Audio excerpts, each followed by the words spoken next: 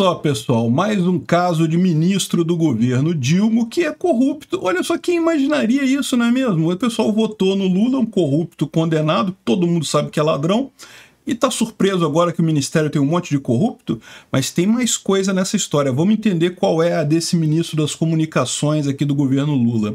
Essa notícia foi sugerida por Servidor Público Libertário, Miojo e várias outras pessoas. Obrigado aí ao pessoal que sugeriu a notícia. Obrigado a você que está assistindo o nosso vídeo. Se você gosta do nosso conteúdo, por favor, deixe o seu like e se inscreva aqui no canal, né? Pois bem, olha só a notícia que saiu aqui em vários jornais na Terra, no, no Estadão, saiu aqui. O Estadão tá bonito a reportagem, cheio de gráfico e coisa e tal.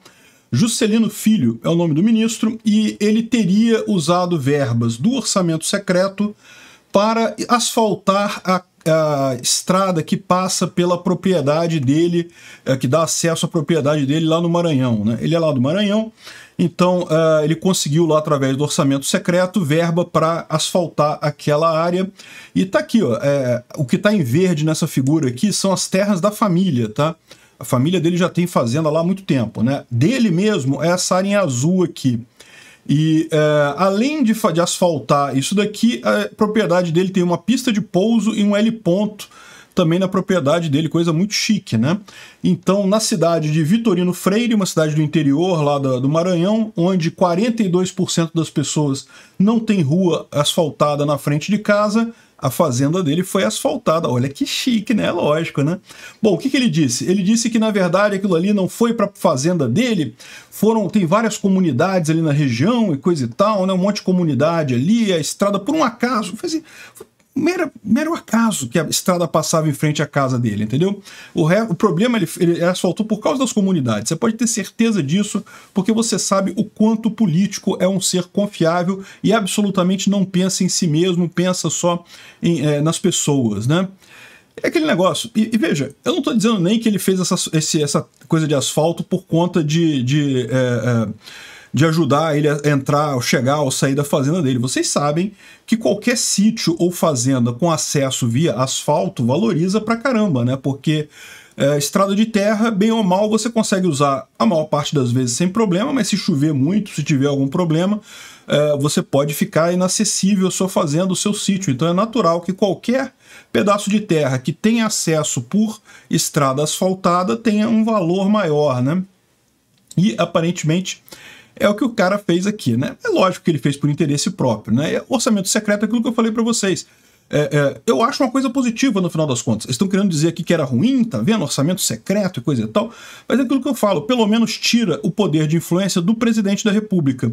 O deputado acertou direto com o, uh, o a comissão de orçamento e deu a verba para ele mesmo.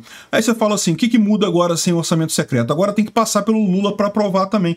Ajuda alguma coisa? Não, não ajuda nada. A única coisa que vai acontecer é que agora só vai passar o dinheiro se for um deputado que vota pro Lula, mas vai ser projetos desse tipo do mesmo jeito. Para que, que você acha que são essas verbas que deputado cons é, consegue para ajudar a população? Não, é tudo para ele mesmo, é lógico, pô, é evidente que é isso, né? Agora, é lógico, como tudo, tem algum porém nessa história aqui, né? Não, absurdo que ele fez, não tem desculpa o que ele fez coisa e tal. Agora adivinha, é mais um ministro do, do, União Brasil. É, ele não é do PT, não, ele é do União Brasil. É, o União Brasil, vocês sabem, é, fez um acordo com o Lula, por quê? Porque o Lula precisa ter no mínimo uma base no Congresso e o União Brasil ganhou três ministérios. E o pessoal do PT ficou injuriado com isso não aceita de jeito nenhum esse negócio do União Brasil ter três ministérios no governo Lula, mesmo não garantindo apoio integral ao Lula, tá? O União Brasil é, formalmente vai ser apoio ao Lula, mas na prática a maior parte dos deputados não vai votar com Lula. E o pessoal do PT está injuriado com isso. Primeiro pegaram a, a miliciana lá aqui no Rio, né? A, é, nem até esqueci o nome dela. Aquela ministra que era ligada aos milicianos aqui no Rio. E daí ela também era do União Brasil. Isso daqui, de novo, é matéria paga pelo pessoal do PT, evidentemente que é. Tem muita gente no PT querendo derrubar esses ministros do União Brasil. E eu acho ótimo essa briga, porque, bom, primeiro porque o cara é um sacana mesmo, tá na cara que fez coisa errada aqui. E segundo, porque, é, e, e a mesma coisa vale para a ministra lá do turismo também, que também realmente tinha ligação com o miliciano, superfaturou, superfaturou obra e coisa e tal. Tá na cara que é isso aí, mas é, veja, o, é lindo isso, ver o PT querendo eliminar a União Brasil. Por quê? Porque é o que o Lula falou, União Brasil, ele precisa do União Brasil desesperadamente. Se o União Brasil sair do governo, ele vai acabar perdendo tudo no Congresso, não vai conseguir aprovar nada no Congresso. Sim, é, é, você pode até concordar com, com o pessoal do PT que três ministérios para um partido que não vai entregar nem apoio completo é muita coisa. Mas o Lula não tem opção, meu amigo. É caro porque ele não tem nenhuma outra oferta melhor do que essa. Ele tem que dar esses ministérios mesmo para o União Brasil. A opção do, do Lula seria: ah, não, tira o pessoal do União Brasil e bota alguém do PT que é o que os petistas querem. O pessoal que plantou essa matéria aqui no Estadão quer isso, quer fritar o cara, mais um ministro fritado do Dilma, para uh, botar mais alguém do PT ali da corja da esquerda. Só que, poxa, isso não vai ajudar o Lula em nada, porque os votos da esquerda ele já tem, e não, não é suficiente para ele aprovar nada no Congresso. Ele precisa da União Brasil. Então, aqui eu estou torcendo para briga, eu quero que todo mundo se ferre nessa história aqui. Tanto o pessoal que está acusando ele, quanto o próprio, né? Porque aí União Brasil sai do governo, sacaneia o Lula e pronto, e União Brasil também fica sacaneado, porque tentou lamber as bolas do governo novo, vai ficar marcado por isso, sem conseguir ganhar reeleição no futuro, né? Então pronto, mais um escândalo. Além do que, bom, vamos combinar, né? O pessoal votou no Lula, fez o L.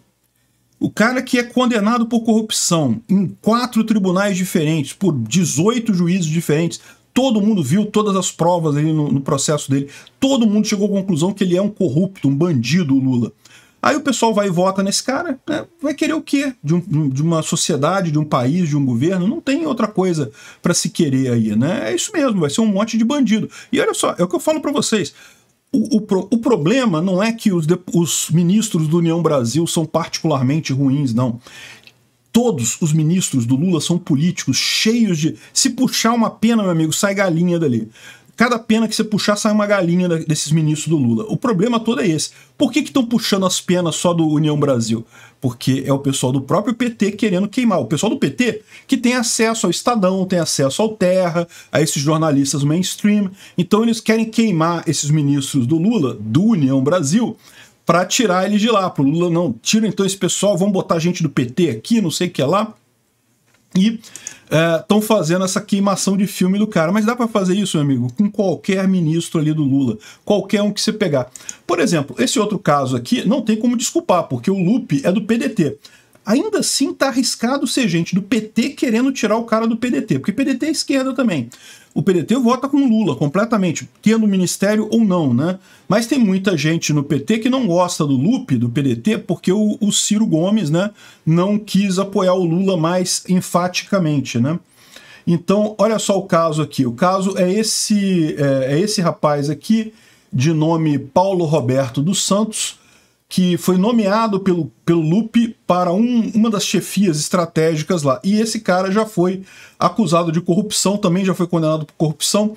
Qual que era o esquema que ele estava? Que a Polícia Federal investigou desvios da ordem de 400 milhões de reais na pasta, e o que indicava é justamente que ele havia, ele tinha feito uma, uma, um esquema de cobrança de propina para regularizar o registro de organizações não governamentais. A história é a seguinte: vocês sabem que aqui no Brasil sindicato e ONG é negócio, né? O pessoal abre uma ONG, ah, e uma ONG, uma organização não governamental, eles estão preocupados em melhorar a sociedade. Não porcaria nenhuma, estão, é um negócio, eles querem ganhar dinheiro. E para ganhar dinheiro com isso, eles têm alguns passos que eles precisam percorrer. Um deles é registrar seja o sindicato, seja a ONG nos ministérios lá de Brasília, né? Então, é, havia um esquema desse também de, de pagar para você registrar sindicato, sindicato no Brasil. Hoje em dia não tem mais tanta vantagem, tá? Porque não tem o um imposto sindical. Mas até pouco tempo atrás, e é possível que volte isso, ter sindicato sim fazia muita diferença, não, o imposto sindical é uma fortuna, o pessoal ficava rico com esse troço. Só que como é que você cria um sindicato? Você pode inventar uma categoria, né? Sei lá, eu posso fazer o sindicato dos youtubers que falam de política capitalista no Brasil. E pronto, criei esse sindicato.